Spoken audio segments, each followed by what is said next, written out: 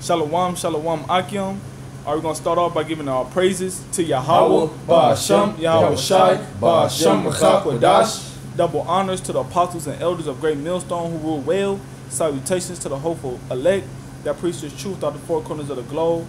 All right, I'm with the brother Ma'ad, with the brother Bakar. Shalom, shalom. All right, and we from the GMS Cleveland branch, you know, and basically we gonna go into this lesson on uh, the spiritual sword, man, and how wisdom is our defense. Okay, because you got a carnal sword and you got a spiritual sword. The carnal sword is the one that you see uh, uh, um, on the screen, and the, and the spiritual sword is the Holy Bible, man. You know, and without further ado, we're gonna get into these scriptures, breaking it down. Lord willing, to be edif- this be an edifying lesson. This Ecclesiastics 9 and 18. Wisdom is better than weapons of war.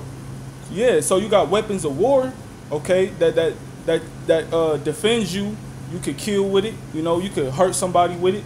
But the scriptures say that wisdom and knowledge is better than the weapons of war, man. Because with this wisdom and knowledge, you can you you confound people. All right, with this wisdom and knowledge, you you know you learn how to move in in society. You learn your place, or you learn um, your connection with the Most High. You know, and that's important. That's more important than anything in this world, man. Right, and you also learn how to be wise, man.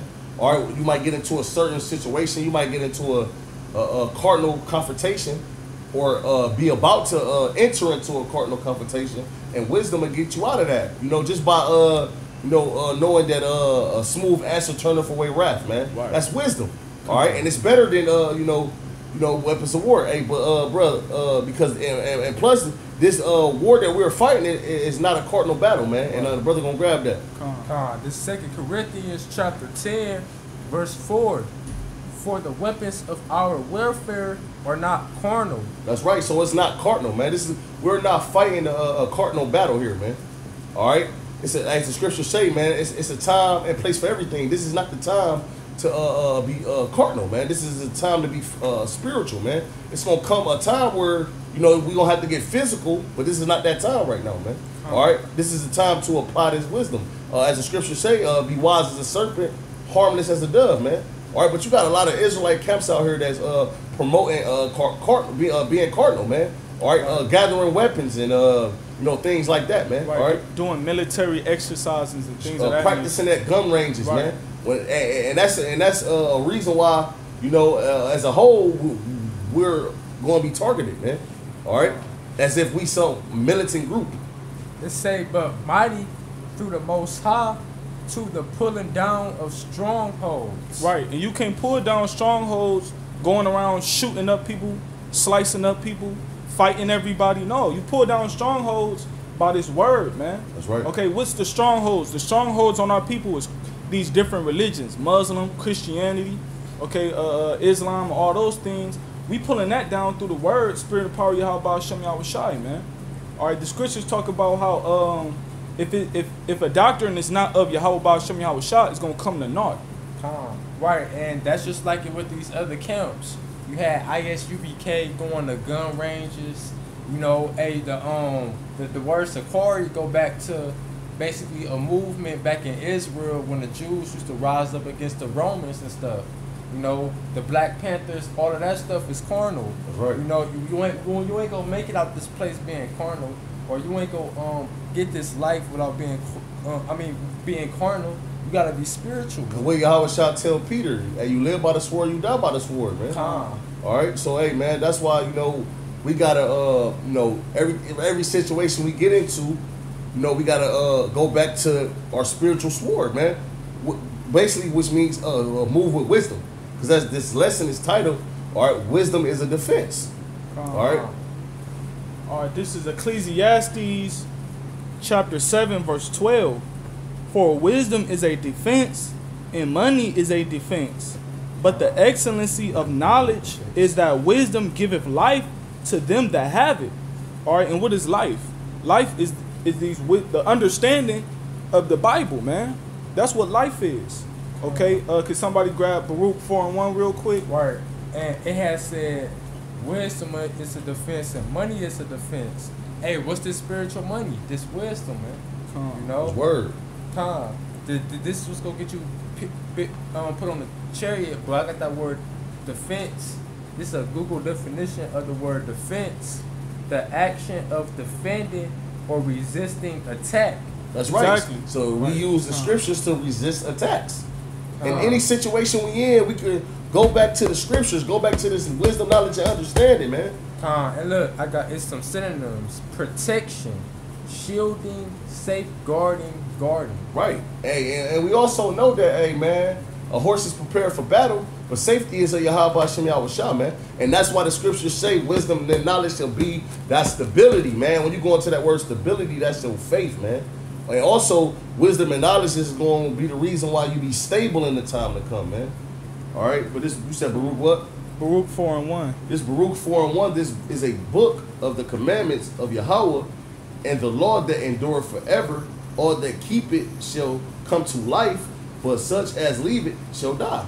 Exactly. And like like um the scripture just said in Ecclesiastes seven and twelve, it said that wisdom giveth life to them that have it. That's right. Okay? So if you got the, the true understanding of the word of the Bible, you got the true doctrine, if the Lord gave you that uh Holy Spirit, which is the um the energy of understanding, okay? Because it's a it's a spirit that comes with this with this Bible, man. That's right. All right, if the Lord ain't give you that spirit to, to- that co- that goes with this Bible, then you not you don't have the you don't have wisdom. All right, you don't have life. Okay, you don't have the the breath of Yahweh Hashem Yahweh Shah in your bones. Right. All right, just like in the beginning when the Lord breathed, breathed that breath into Adam, he became a living soul, man. That's right. He he became a living soul through these through this knowledge, these laws, statute, and commandments, man. All right, and we trying to wake our people up, giving them these scriptures. We trying to wake up the elect. All right, so we can hurry up and get this kingdom, man. Right. But it all starts with wisdom, and you got to set up your defense, and you got to make it strong, man. And also, and also, you know, uh, you know, card, cardinal, carnality, all right, the, the, the uh, you know, belongs to Esau. And, and we can't, you know, win with Esau, you know, using a cardinal sword, man. That is that is, that is his blessing. Our our blessing is this uh, is a spiritual blessing. This wisdom, knowledge, and understanding. What matters at the end of the day. All right, because this is this is all that matters at the end of the day, man. So like I said, man, we can't battle. And you got a lot of people out there that you know say that what they gonna do, man, and how they gonna come up against Esau, you know, with this and with that, man. It's not gonna work, man. You gotta, and, and that's and pulling down the strongholds, as the scriptures say, man. You know, with this Uh, wisdom. Um, this is um Sirach chapter twenty one verse seven. An eloquent man is known far and near, but a man of understanding knoweth when he's slipping. That's right. Right, because we, we gotta move with wisdom, and sometimes we're in the flesh, so sometimes you do go off, but by you having this wisdom, you gonna know where you went off at. Or when you slip that, Calm. and that's a defense. Right. All right, because this wisdom gonna prevent you from slipping again. Right. You know, Come. a lot of people slip and don't know why they slip, man. All right, but with this wisdom, knowledge, and understanding, it's like it's like going back to the title of this video. It's a defense, man, Um. from keeping you from slipping again. Right. Calm. Right. Ju- Just like a sword would defend you from your enemies in the battle of a carnal war. All right, we not fighting a carnal war. We just like the brother said, we fighting a spiritual war, man. So we using our spiritual sword.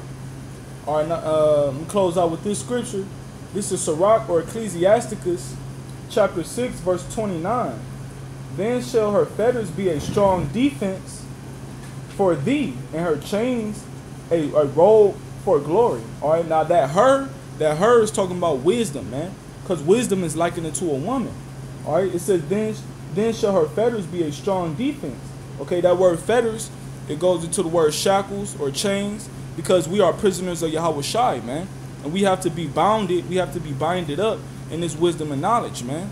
Okay, so our wisdom is going to bind us, bind us up, and that's going to be our strong defense, man. This wisdom and knowledge that the Lord blessed us with. All right, so you know uh, that's something to uh, hold on to, you know, for all eternity, especially coming to these times of trouble.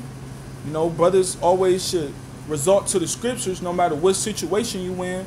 The scriptures is the only way to resort to peace and life. All right. So with that being said, we're gonna close out. Lord willing, this video was very edifying to the brothers that's watching and listening, taking heed. All right, we're gonna give all thanks, glory, praises unto Yahweh, Ba'ashem, Yahweh Shai, Ba'ashem, Ruach Qadash. Double honors to the apostles and elders of Great Millstone who rule well. Salutations to the hopeful elect that preach this truth of the four corners of the globe. Shalom and the Babor. Babor.